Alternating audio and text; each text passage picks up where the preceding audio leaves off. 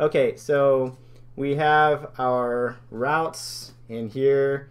You can see we have users routes, index routes. So let's start with index routes. We have our home page here and you can see router.get forward slash takes us to our index.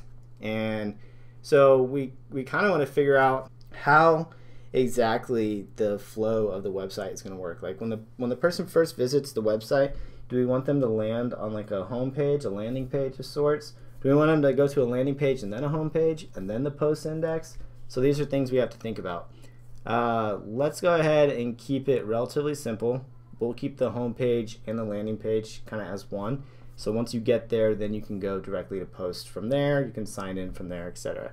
So we'll save that one. Uh, that's going to be this one right here. And this came with the Express generator. If you're doing it all manually for whatever reason, that's totally fine. Just make sure that you go ahead and create this one. So the title for this one, really the title for all of them, is going to be uh, Surf Shop, and then we can just call it like home or something. Uh, so here we have a function, and if we're using ES6, which I would like to stay up to date, we'll go ahead and change this to an arrow function. So if you didn't see exactly what I just did there, I just removed the function keyword, and then on the other side of the parameters here, I went ahead and added a what's called a fat arrow or an arrow or whatever. Uh, so it's just the equal sign and then the greater than sign. Okay, so now that we have our arrow function in place, we have res.render, and uh, this is our home page. Let's go ahead and start creating our post routes. So we'll save this file. We'll go over to routes, create a new file, call it post.js, save it, save it, and now we want to basically borrow the code from index.js that we have up here, var express equals require express uh, var router, and we'll paste that in. Again, we're going to use const here, so we'll go back over here and change this one to const as well. Okay, so we want to create our first route inside of here and then module.exports router and the reason we export the router is so that we can pull it into app.js. So we go over to app.js and let's see here. Here we have app use and app use for index and users. And then right here we have index and we have users. So let's go ahead and create another one. And we'll just call this one posts. And we will require routes posts. And so if we save that, this should be all set up.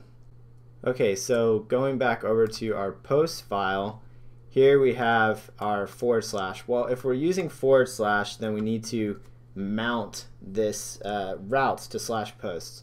So back in app.js, we scroll down here, and now that we have this variable available to us called posts, we can use it with app.use. So app.use, and then forward slash posts, and then we just pass in that variable. And what happens is anytime someone visits slash posts, they are actually hitting this root route right here. So this forward slash is actually slash posts. Okay, so that could get kind of confusing, right? If you're jumping back and forth from app.js to post.js, so how do we know that this is going to be slash posts? Well, we have a comment right here. It says get home page. That's because we borrowed it from index.js. Let's go ahead and change it to get posts index, and then we'll just say forward slash posts. And there's a period there. We can get rid of that. So we'll save that. And now you know that this is forward slash posts even though it just has the forward slash right there. Okay, and so we have render index. This assumes that we have a view called index inside of posts. We do not have that set up yet and we're not going to do the views right away. So first and foremost, let's just get rid of this whole thing and do a res.send and we'll say slash posts and let's see how that works. So over here in my terminal, I'm going to run nodemon. This starts up the start script for node uh, bin www, and that gets a server running over here in localhost 3000.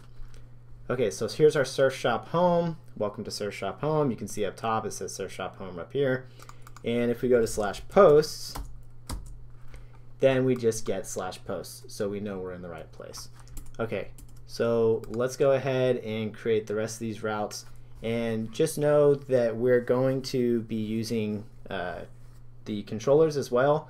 and that's where we're going to put all of our business logic for the application. So we will be putting a little bit of code in here, and then we'll be actually directing it to the methods that are going to be exported from the controllers. And if you don't understand what that means, totally fine. We're going to go over it step by step. So let's go ahead and finish up the basics of these post routes, and then we'll finish this video. You can take a break. You can go ahead and get caught up with all this stuff on your own, and then we'll come back and we'll do the same thing for users and reviews.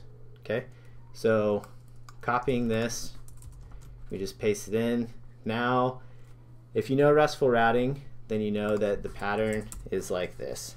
We have a get route, right, for our index. And then we have a get route for our new.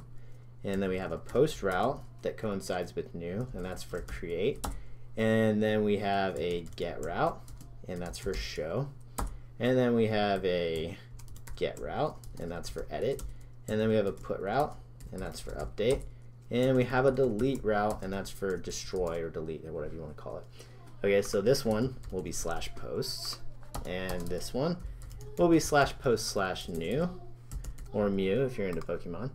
And this one is slash posts, uh, just slash posts, and slash posts, and then we pass in the ID so that we can find the uh, post in question. And let's go ahead and put the edit one, slash post slash ID, but then slash edit. Oops. And slash post slash ID. And then this one is also slash post slash ID. And we're running out of space here. And I'm using the wrong keyboard shortcut. This is command click that I'm using on Mac to select multiple lines. I think it's control click on PC. Uh, hopefully you know most of these uh, shortcuts by now. Okay, so these are the routes that we're going to be using. We already have this one for slash post, and now we're getting another one for slash new. And so this one is going to be slash post slash new. We'll save it, and just a quick test. Slash post slash new. Uh-oh, what's going on with my server? Unex unexpected identifier, duh. Uh, I've put a bunch of code in here just willy-nilly and of course it's being read by the JavaScript file and it doesn't know what any of this is. It thinks that they're like variables or constants, whatever. So let me comment all of that out or just make it a little bit read uh, more readable. We'll put a multi-line comment, save it. And now it's restarted. And back here, refresh, there it is, slash post slash new. Sweet. Okay, so now if we go to here, we can whoop, select this and create another one. And we need, that would be create one, two, three, four, five. So three, four, five, I believe. Let's go ahead and put some spaces between these. When I select it, to duplicate the line, that's Command Shift D on Mac or Control Shift D on PC. Again, I'm using Sublime Text 3. Um, if you're using a different editor, you'll have to figure out the shortcut or just do it manually. Okay, so we have slash posts. We have slash post slash new. So this is slash post slash new and get posts new, get posts create. It's not going to be a get, it's going to be a post. And then this is going to be get posts show slash posts ID get uh, posts edit post slash ID slash edit and this one is going to be put posts update slash post slash ID and we need one more and so this is going to be delete posts, destroy posts ID. Okay, so we can get rid of these comments down here since we now have them with these ones right here. And so we have create, this is going to need to be a post, and then it's not going to new, it's going to forward slash. So we res.send, uh, we can call this one like create posts. This is, this is just a string that's getting sent back so you know uh, where you're at. And then this is post ID, so this will be ID, and this will be ID, and we'll say show. And then this one will be edit. So ID edit.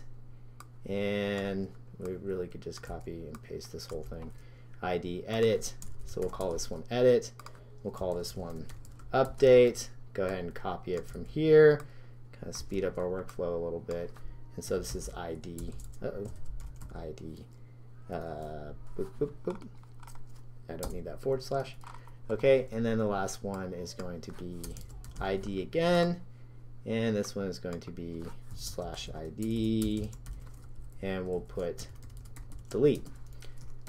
Okay, so now if we save this, we can go to post slash, well, if we go to new, then it takes us to new. If you put anything other than the word new, then it takes you to show post ID because this value right here is considered an ID in the parameters. Why is new not considered an ID even though it comes after post slash? The reason is because we put new before we put the show route. If you ever run into a problem where it tells you something like MongoDB cannot find, a, it's like a cast error for slash new, the reason that's happening is because you put new below your show route. So always be sure to put the new route before the show route. Okay, so how do we access the post and the put and the delete, which I'm seeing now. I didn't put put in here and I didn't put delete in here. So make sure you do that on those two. And now if we save, we can't access them from the browser unless we have a form that submits to them. So we're going to use a tool called Postman. If you don't know what Postman is, go ahead and look it up, download the uh, web application. Actually, I think it's a Chrome application, but it's like a desktop application, and I'm pretty sure they made it with uh, some JavaScript framework. I forget which one. Um, but anyway, it's going to allow us to send requests. Colt went over this in his course. Uh, if you're not coming from Colt's course, then you may not know about it. But basically, Postman is just this really cool tool that allows us to send HTTP requests uh, to our API or any API for that matter and get back information. It's very useful, especially when you don't have all of your business logic written out uh, in your application. So I'm going to create a new request and I don't want to give it a name or anything. So I'm just going to click the plus sign here, new tab. It's a GET request, and I'm going to send it to HTTP localhost 3000 slash posts. And if we send it, it says slash post. That's what we get back. That's what we expected. We change it to a post request and we send it. Then we get create posts. So check, that's working. Now we go to new with a get request and it tells us slash post slash new so that's working and now if we go to some ID here so just some gibberish after posts with a get request we send it and it tells us show post ID same thing if we change that to a put request and we send it then it tells us that's update and then lastly if we put it for delete then we get delete and don't forget the one that I forgot edit get request, post slash some ID, edit, and now we can see that all of our routes are working. Okay, so really simple. We just wired up our routes for the post resource, and we're going to do the same thing for the users uh, for the static um, the static routes, so like our home page, our contact page, about us. Um, I don't know that we'll have all those, but we'll have a couple of them for sure. And then like forgot password and register and login, things like that and then another one for reviews. So we will be doing that in the next video, and we'll see you then. Thanks.